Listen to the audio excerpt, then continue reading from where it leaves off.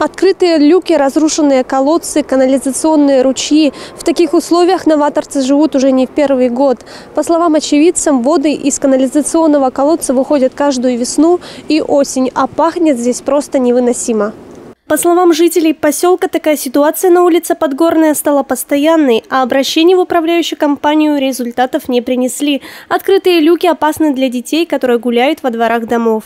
Тут ребенок может провалиться, взрослый-то может увидеть, а дети-то ведь и не бегают, не смотрят. Конечно, это плохо. Ой, плохо у нас канализация. Постоянно тут э, вон стоит, вон колодец этот, все кругом вода. Он все сараи уже наклонились от того, что, что плохо чистят. Не убирает вовремя. Канализацию не чистят. А тут машина стоит какая-то, так не, не ЖКХовцы приехали.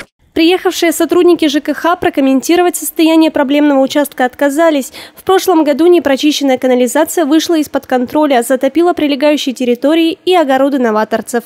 Воды канализации до сих пор на поверхности, а не в колодце. Пытались, проводили ручьи, проводили, чтобы уходило. Но это все, фекалии эти все плывут просто поверху. Грядки и все, что садим, все портится, все топит. И детям гулять очень безопасно, потому что рядом детская площадка и э, пахнет, и все могут упасть и дети. Падали уже не раз, тонули, и запах вообще ужасный. Еще ездит машина помимо того сливает прямо в колодец.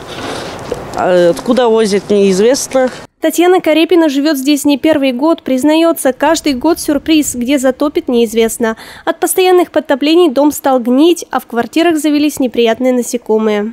Пока мы линолеум в, комнате не постелили, живем на первом этаже, меня блохи любят. Они по 15, по 15 блох убивала каждое утро. В подвале вечно вода, что зимой, что летом. То есть она и не выходит, и откуда-то копится.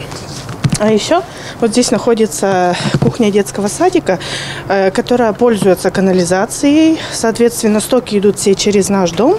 И из этого колодца постоянно фонтаном течет вот эта вода с фекалиями, совсем с отбросами. И у нас рядом стоит баня, которую вечно топит. За содержание канализации отвечает подрядная организация «Новатор Сервис». По улице Подгорная проходит сеть э, дорожной канализации, и там был аварийный момент. Служащая организация «Новатор Сервис» проводила работы э, прочистке и ремонту колодцев. Данная проблема у нас на контроле. Директор управляющей компании «Инноватор Сервис» Андрей Костров дать комментарий по проблеме отказался, но в устной беседе пояснил, что люки на колодцах были установлены, но каждый раз их крадут, а канализация забивается, потому что люди бросают в нее крупные предметы. Работы на проблемном участке ведутся, причину засора пытаются устранить. Татьяна Меркурьева, Антон Карев, телеканал «Русский север».